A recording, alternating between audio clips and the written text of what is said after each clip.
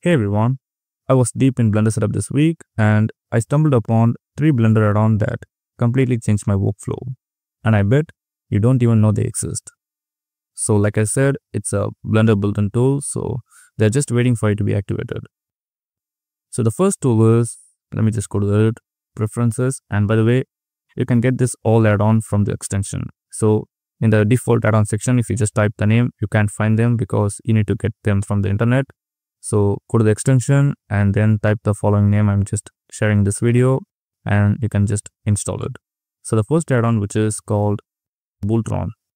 So you may be heard of the name Booltool. So basically in Blender, there are three ways of adding booleans. So the first way is the most default way. So what you need to do is just select your object and shift T and duplicate and place them somewhere here. Now you need to apply the boolean modifier. So go to the generate and search for boolean then you need to set your object as your target. And once you've done that you need to choose your operation like union intersection or difference so like that.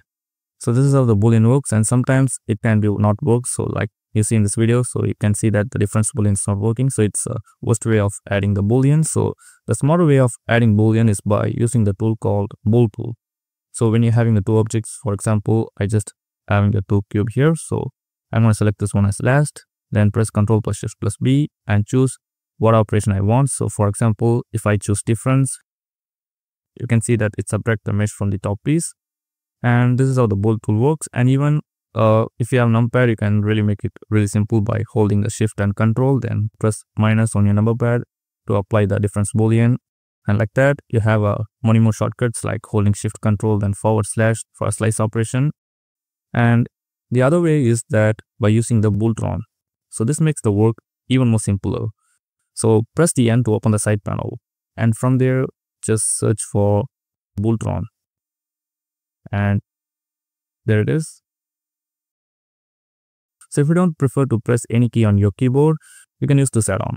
So what you need to do is just select the two objects just like we did before and from the N panel you can just run the booleans. So if I want to run a difference boolean I can just select it. By the way, you have two options like you have a destructive boolean and non-destructive boolean. So destructive boolean means that when you perform any operation like difference, this will uh, happen instantly and also we don't have any control with the boolean because it will apply it. So there is no live boolean. So if you want in the non-destructive way, you also have the option here. So you can select this non-destructive difference. So that way you have control over your booleans. So, so for example, I can just move this boolean wherever I want and also I can resize it, rotate it and do whatever I want. So it's live operation. So if I move this cube somewhere on the screen, you can see the boolean will be disappear because it's a live boolean. And also I can just apply it. So this is the new way I found to applying the booleans. So, and the fun fact is I would just accidentally uh, find this tool. So I was actually uh, setting up my blender. So for that I need the bool tool add-on. So I just go to the extension and then installing the bool tool and at the bottom I see the name called Booltron. So I guess that it will be something related to boolean so I would like to give it a try and it's really amazing. So for those who don't really prefer to use any keys on your keyboard, you can use this add-on. Now let's take a look at the second add-on which is called uh, yeah modify tool. So this is really useful so let me just show you how it works. So for example, I have a let me just uh, run a few more booleans. So I'm going to use box cutter for this.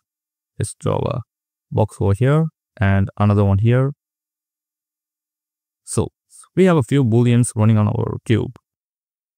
So you can see that all the modifier. So if you want, you can just add the bevel. So using Fluent, I'm going to apply some bevel. So now I got a three modifier, maybe four. Yeah, we got four modifier on our stack. So if you want to apply this one by one, it's really take long. Like you have to come here and apply one by one. And it can be really easy if you're just having to apply for one mesh. But if you're having a, and if you have thousands of mesh in your scene and you have to apply all the modifier, it's a nightmare, right? So that is where the modifier tools comes in. So by default, you don't see the options above the modifier panel. So let me just show you how it looks. I'm going to disable the modify tool and now you can see that we don't have any options at the top. Now let me just enable it. There you go. There you see, we got a few options. So if you want to apply all the operations and all the modifiers, you can simply click on this apply all. And the advantage of this add-on is it will apply all the modifier in single click. And the disadvantage of this add-on is it will apply all the modifier. I mean all. Which means that it will also apply the weighted normals and bevels. In some cases, we don't really want to apply them all. So yeah, it has some advantage and disadvantage, but in your scene, if you want to apply all the modifier, then this would be a great option. And not only that, it have a few more options like, let me just run a boolean over here. And it also have a few more options like if you want to delete all the modifiers that present in your mesh, you can simply click on this delete all.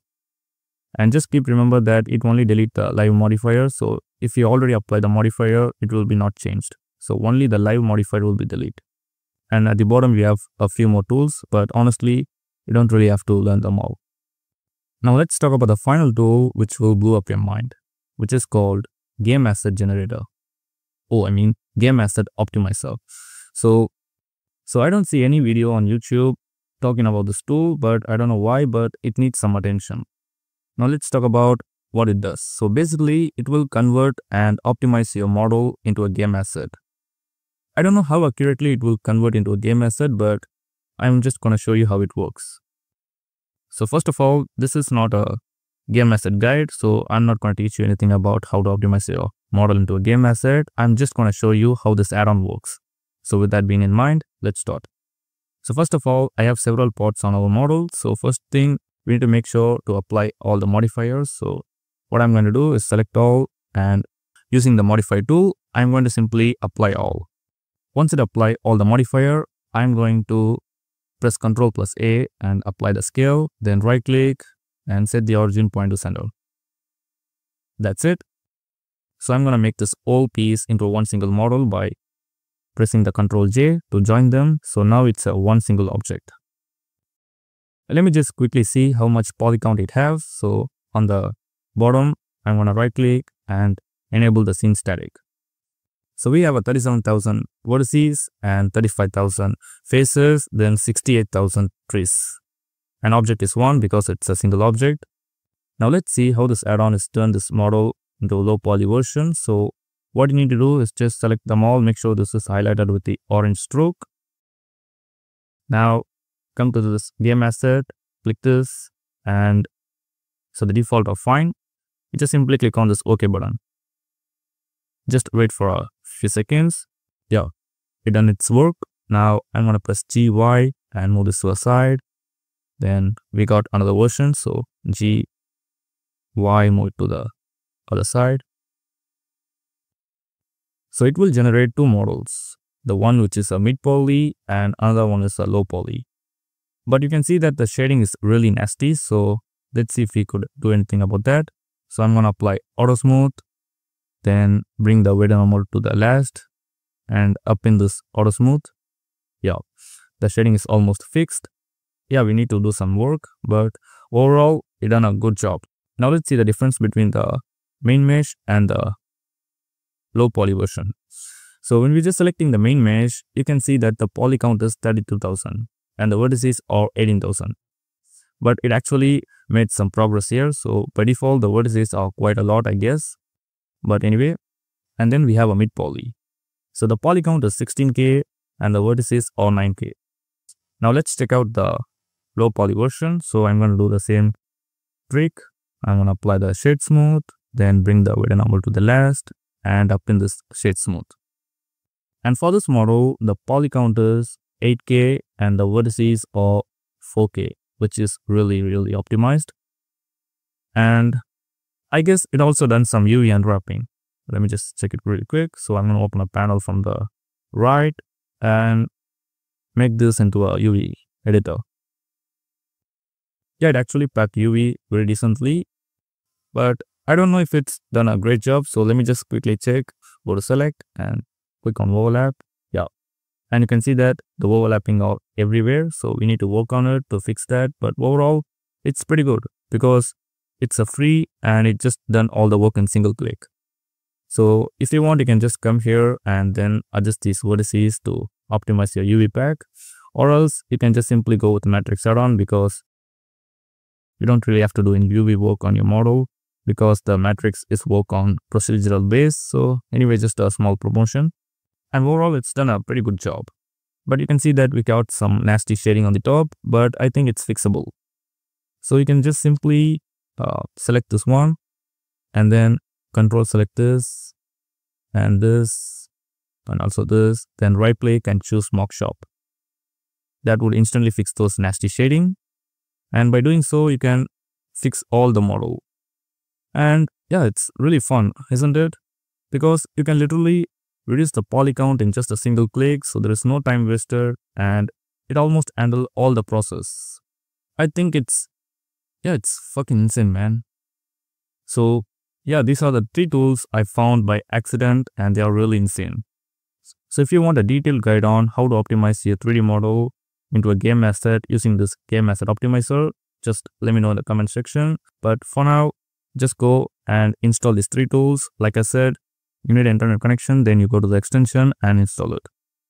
So if you have any questions or doubts, just let me know in the comment section or even better, you can just join my Discord server. It's completely free and there are many members out there who just asking questions and solving the doubts. So just go and just join my server and that's it.